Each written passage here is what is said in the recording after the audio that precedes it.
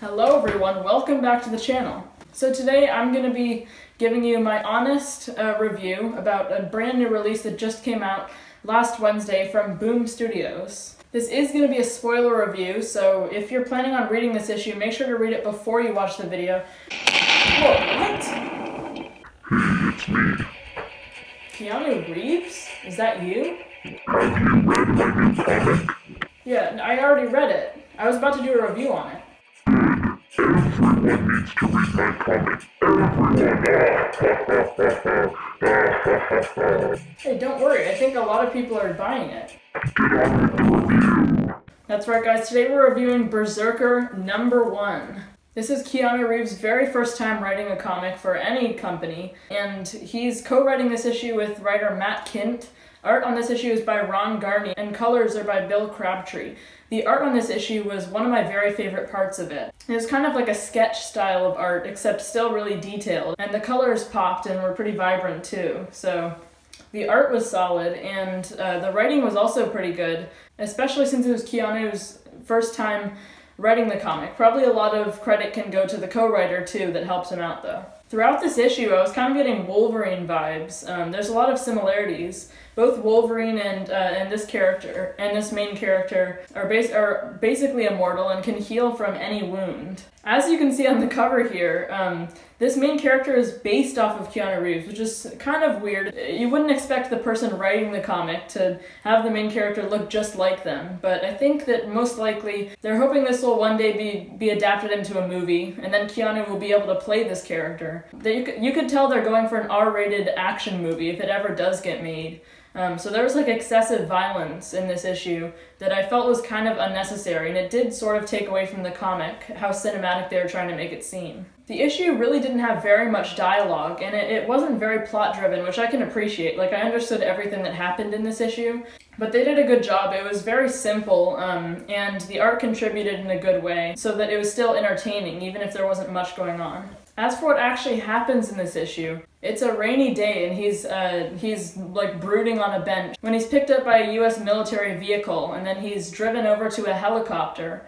Um, he like suits up in military gear and has this squadron that he's with in the helicopter. Keanu jumps off of the helicopter uh, before he's cued to do so. It seems that he's working for the US, doing their dirty work and uh, taking out those who they tell him to. In the background, there's like Spanish billboards, so I'm, I'm assuming they're in some sort of Spanish speaking country, although they never say um, exactly where they are in the world. The squadron is tasked with assassinating the president of this country. This is where uh, the big fight scene that takes up the majority of this issue starts. And throughout the fight, we see Keanu using uh, excessive violence against the guards um, which a lot of times is unnecessary. So he's very ruthless, and it's clear that he has some sort of superhuman powers. He's able to like punch through people and just take off their arms. So he's something more than human.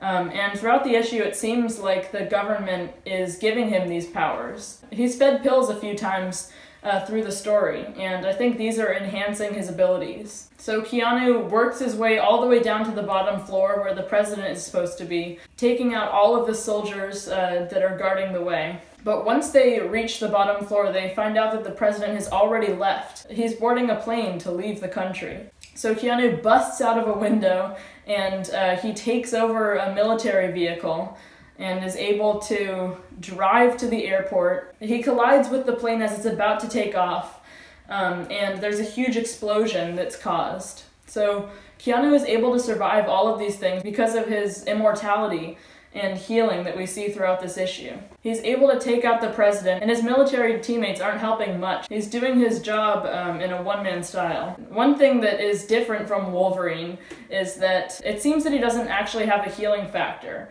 So he comes out really banged up with all these burns and uh, scars and, you know, battle wounds, uh, which aren't healing, but he's just able to survive that type of stuff. And he's flown back via helicopter to this U.S. military base in Washington where um, these like scientist surgeons uh, set him down on a table and in this surgery they use all of this high-tech equipment to basically stitch him back together they even like take one of his fingers um, and put it in a little cup that says uh, like clone research or something like that. So they're working on cloning him because of his immortality. They're trying to work with his uh, his DNA and like mass produce these super soldiers. But um, they have some very high tech, next level technology that they're using, and they're able to completely stitch back together Keanu um, so that he's pretty much back to normal and fully recovered. And then once he's all done with his surgery, um, he goes to a session with his therapist. The first half of their conversation was basically the background dialogue that we got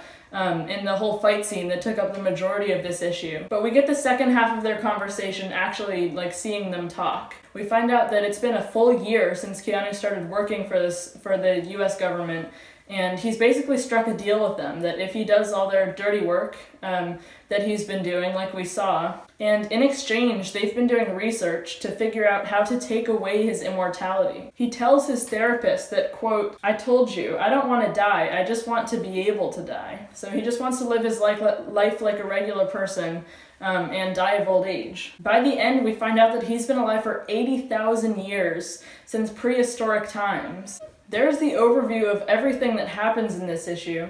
Here's my final rating. I'm giving this a 7 out of 10. It had pretty solid um, and detailed art from Ron Garney and uh, Bill Crabtree. And it was a surprisingly good writing debut from uh, Keanu Reeves. Obviously, he had help from Matt Kindt, but usually celebrities writing comics is pretty hit or miss, and a lot of times it just doesn't work out. Like I said, it seemed that at times they were they were trying to make the comic seem a little too cinematic in hopes of maybe one day making that uh, movie adaptation. And that actually took away from the from the comic's potential a little bit for me. But i definitely still recommend it. Make sure to go pick it up at your local comic shop if you haven't already. Before we go make sure to subscribe. It's the big red button right below this video. And you can also hit the notifications bell uh, that's right next to it. You'll be notified every single time I post a new video if you don't want to miss any. So that's everything from me today. Thank you so much for watching everyone. Bye.